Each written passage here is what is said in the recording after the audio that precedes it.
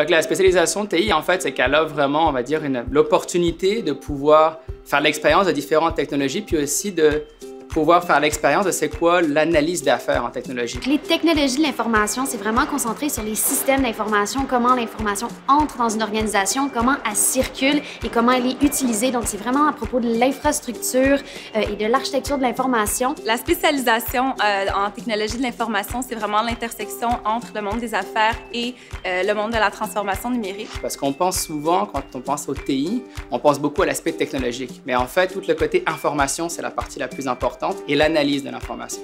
Donc vraiment, la spécialité, c'est comment en fait on développe une, expertise puis un état d'esprit pour d'abord analyser l'information pour ensuite choisir la bonne technologie qui arrive pour supporter le flux d'informations dans une organisation. Un bon étudiant en technologie de l'information, en fait, c'est quand même une, question euh, assez drôle quand on me la pose parce que je pense qu'il n'y a pas de bon profil euh, pour cette spécialisation-là. Puis je le vois davantage depuis que je suis sur le milieu du travail parce qu'on voit en fait vraiment la variété des profils euh, des professionnels qui, travaillent en technologie de l'information. Les profils en fait en TI, je dirais que c'est quelque chose qui est assez général par rapport aux autres spécialités. On n'a pas besoin d'être extrêmement, mettons, fort en mathématiques ou plutôt en analyse de cas comme en management avec euh, vraiment plus, on va dire, des, simplement des soft skills, si on me permet, c'est que ça prend un beau mix des deux. Euh, quelqu'un en TI, vraiment, c'est quelqu'un qui a une bonne vue d'ensemble de l'organisation. Euh, oui, il faut être minutieux, il faut comprendre les différents aspects, mais il faut aussi comprendre comment l'organisation fonctionne tout au, au, sein de l'organisation. C'est que ça prend aussi bien l'aspect analytique qui doit être très poussé, résolution de problèmes, aussi l'aspect évidemment gestion humain, parce qu'il y a un gros aspect humain à arriver à, pour arriver à faire la spécialité, puis après des nouvelles technologies, il faut comprendre un petit peu l'aspect stratégique.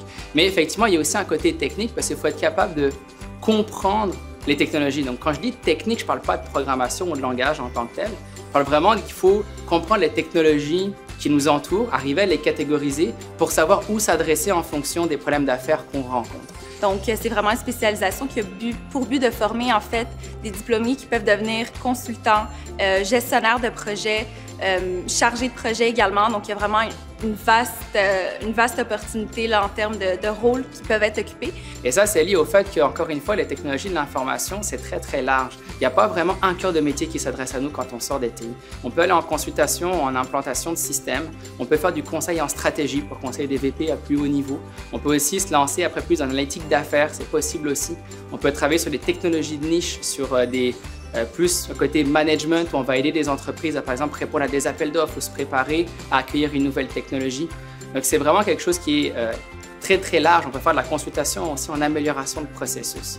Les apprentissages de mon baccalauréat qui sont les plus utiles euh, dans mon domaine en ce moment, c'est assez difficile à dire parce qu'il y en a énormément que j'utilise à chaque jour.